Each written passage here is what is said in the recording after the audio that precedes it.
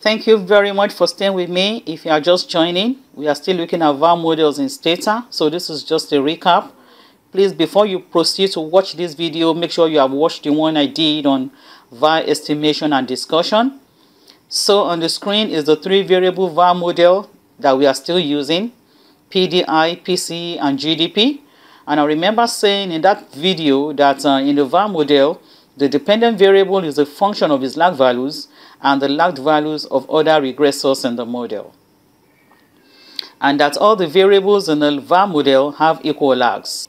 Then the way you specify your VAR equation is very important. You don't specify it in first differences. VAR must be specified in levels. If you specify in first differences, you have only uh, misspecified that VAR model.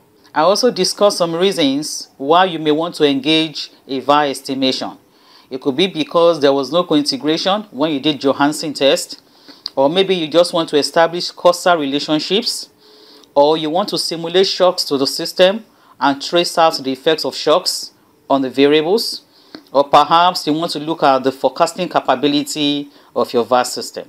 So all these reasons can be given for estimating a VAR model. And here's a recap again on how to go about it in Stata. Make sure you specify the model correctly. I've shown you an example of the one I'm using.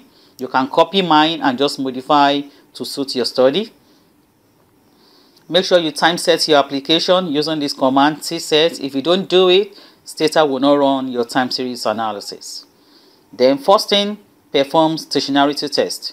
Ensure that the series are all integrated of order 1, definitely not order 2. You can use any of these tests.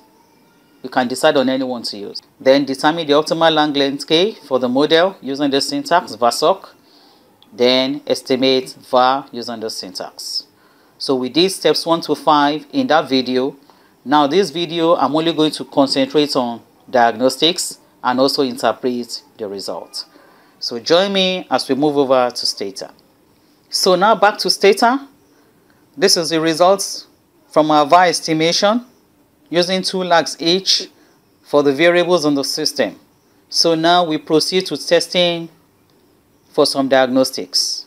So the first test I'm going to check is for autocorrelation and this is the command I've spelled out here maximum lag of 2 because I've been using two lags so I run this so we can see here at two lags we cannot reject the null hypothesis of no autocorrelation so this model is good. So the next test I'm going to run is the normality test, which is the Jarque-Bera test.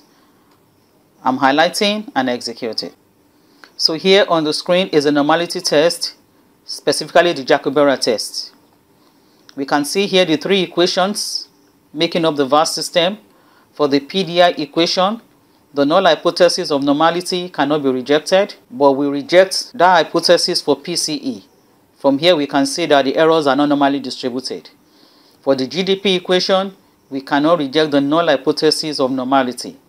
However, overall, for the entire VAR system, the errors are normally distributed. So again, this is good. We can proceed. So lastly, we test for stability using this command, highlighting it and execute. So here we have all the eigenvalue stability conditions all listed out. The most interesting information here is that all the eigenvalue lie inside the unit circle and the VAR satisfies stability condition. I once got a question from a student and was asking whether it's important to perform post-estimation checks, particularly maybe for VAR or ARDL or whenever you have performed any analysis. And my answer was that if you don't perform some diagnostics on your estimation, your results may not be taken seriously. You yourself may not even have confidence on what you have done. So it's always good to perform at least a couple of diagnostics to ensure that your model is stable, to ensure that the errors are normally distributed, to ensure there is no heteroscedasticity and there is no autocorrelation. At least perform those basics. And if you are going to use your VAR for inferences, for impulse responses, or to estimate or analyze shocks, you need to be sure that at least the model is stable, okay? So performing diagnostics is very important after you have done any estimation. So that concludes our tutorial on diagnostics. Please don't go away. I'm still going to talk about causality test, uh, impulse response functions, and uh, forecast error variance decomposition.